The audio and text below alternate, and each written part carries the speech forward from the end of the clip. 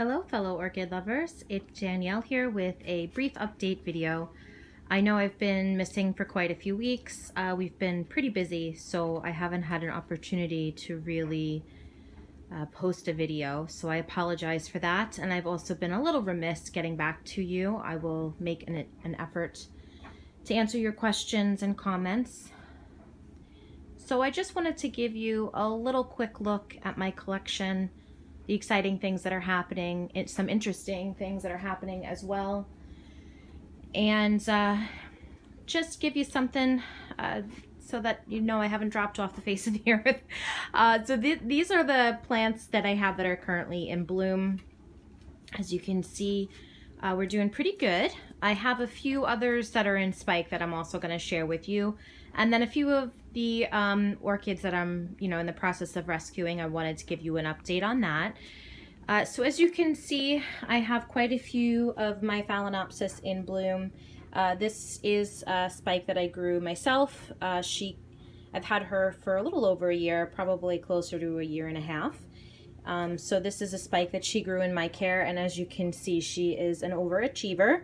So she has her main spike here with quite a few blooms, and then she has a secondary and another secondary spike over here with um, quite a few buds. So all in all, when this completely opens, it's going to be uh, quite a show. So I'm really excited about that.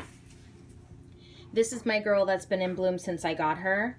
Uh, she started off with this very long, crazy spike right here, and then um, she kept extending off the ends, and then now she decided to put out a secondary spike with quite a few blooms on that as well. So that's pretty exciting.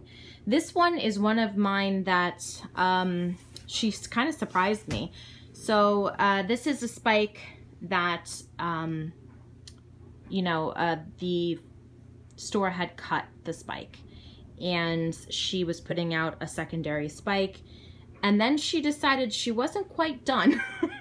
so she put out all these flowers, they all opened, and then all of a sudden, off the tip of her spike, she started growing, like putting out an extension. And as you can see, there's quite a few of buds on there. So she already has uh, six blooms, and now she's getting one, two, three, four, five, six more blooms.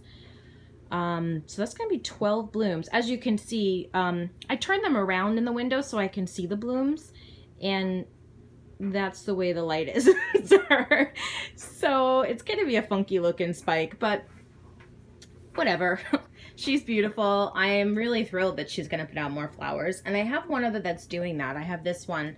Uh, this is the one I named after my niece, Kay um, Kaylin. Uh, Caitlin, I'm sorry. Kaylin's the other one.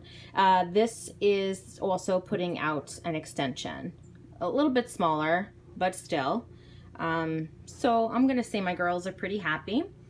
This is the one that had the dyed spike. And I was curious to see if any of the blooms were going to have blue in them, but they don't.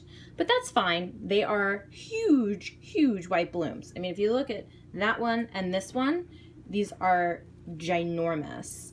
So really, really pretty. Uh, the leaves have blue in them.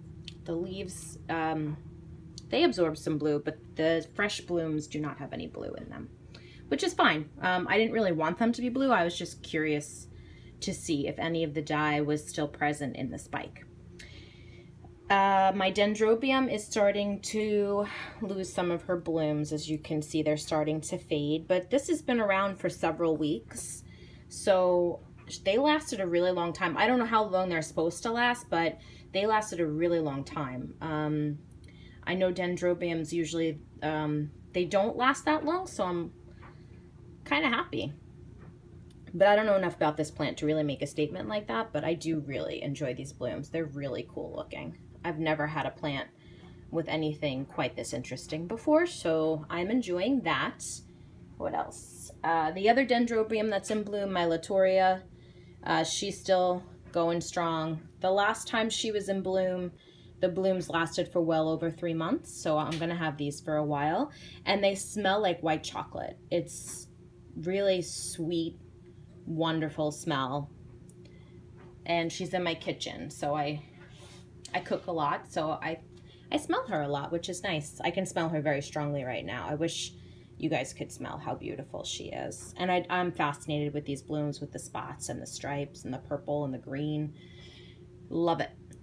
Okay, next. This one is my mini Phalaenopsis that taught me a little bit about mini Phalaenopsis and what they require. When I first got her, her blooms like were not happy and started to keel over. Um, as you can see, one of her spikes is dying back. Uh, but I realized that with the fine-rooted Phalaenopsis, they need a little bit more water than the chunky root um, mini Phalaenopsis. So I increased the water level on her higher than I would typically do, and her blooms plumped back up, everything perked back up, and she has now been in bloom, I'm gonna say, oh gosh, when did I get her? I think I got her back in the fall. So she's been in bloom for a couple of, she, she's been in bloom for a couple of months at least. And no sign of these fading. She, like I said, this one is, but these are still going strong. They're not getting um, thin, like the, the petals will start to look a little thin uh, and then they start to fade and there's no sign of that. So she's still going pretty strong.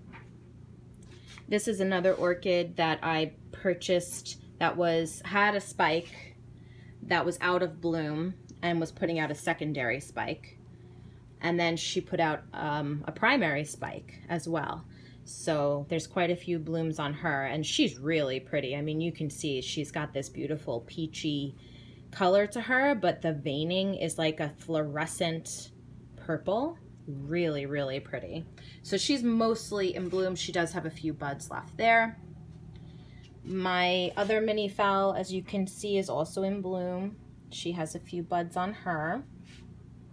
And then I wanted to update you on two of my rescue orchids. So this is one of my rescue orchids um, that had absolutely no roots and I was hydrating the stem. And as you can see, she is putting out some new roots. That root is finally hydrating the plant, so she is putting out a new leaf and also her old leaf is starting to plump back up. So as you can see, it's still a little bit leathery and creased, and it may never 100% bounce back, but it's now starting to firm back up. So it was in this condition where it was limp and leathery, and now that that root is finally hydrating the plant, the leaf is, is bouncing back. So she's on the road to recovery.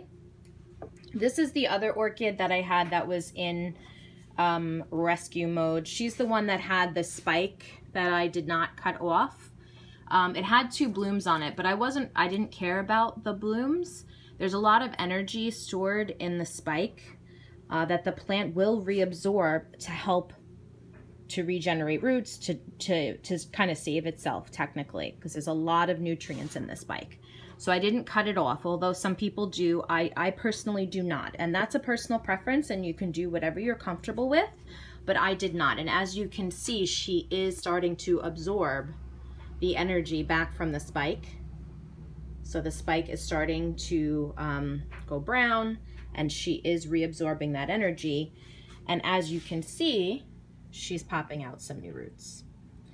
So, you know, again, it's personal preference as far as what you want to do. Some people are firm believers in cutting the spike off because they think that a spike drains the energy from the plant. And I believe that there's a lot of energy in the spike that is beneficial to a plant that is struggling.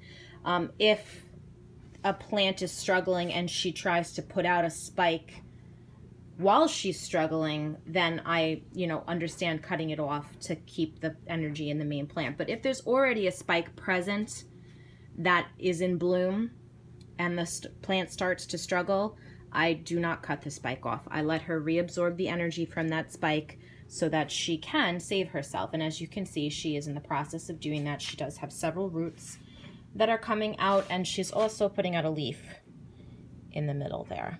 So she is also on the road to recovery.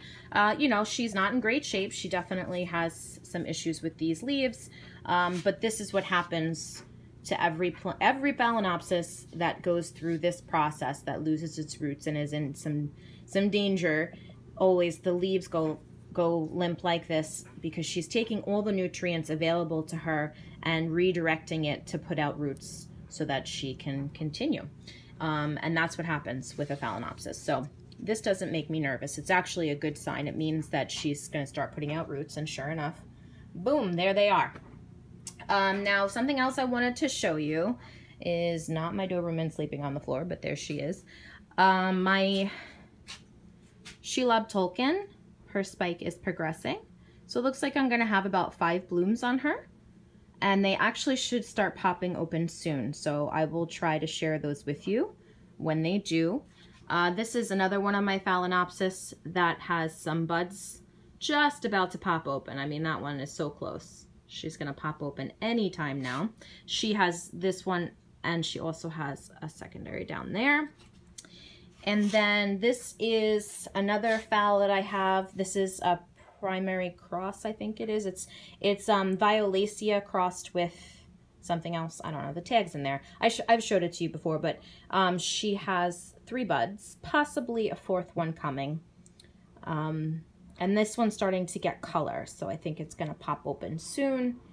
This Phalaenopsis is my one that I named after my adopted niece, Annalise. Uh, so that secondary spike is developing pretty quickly, and it's a very, very chunky, chunky spike. So we'll see how many blooms it develops. And then one other thing that I wanted to show you that I forgot to bring over here is another surprise spike. So I was just looking at my collection and I noticed a little something peeking out from here. So as you can see, I don't know if you can really see it, but I don't want to hurt her, so come on. As you can see right there, that is another spike coming out. And this is a spike that's that has developed in my care. So she hasn't had a spike uh, for about a year. And now she's going to give me some blooms. So I'm pretty excited about this. This is my the orchid that I named Snow White. She has beautiful white blooms with like an orange lip. So I'm very excited to share that with you as well. Uh, more puppies sleeping in their little beds. So this is orchid watering day. So they just kind of find a spot and lay and just tolerate that mommy's busy. Um, so anyways, that is what's going on with my collection. If you have any questions, let me know. Uh, like I said, I've been a little busy, so I haven't really been able to answer you or share things with you like I'd like. Um, it's gonna, I'm gonna have another couple of weeks of, you know, kind of crazy busyness. So I probably won't be able to post a video again for another two to three weeks, uh, but I will try to keep up with your comments and uh, everything like that. Uh, but then after that, you know, once June comes around, I should be able to start posting more regularly um, because things should calm down just a bit. So I hope you're all doing well and you're enjoying your collections as much as I am and that they're bringing you lots and lots of joy and happiness. And I will talk to you all next time.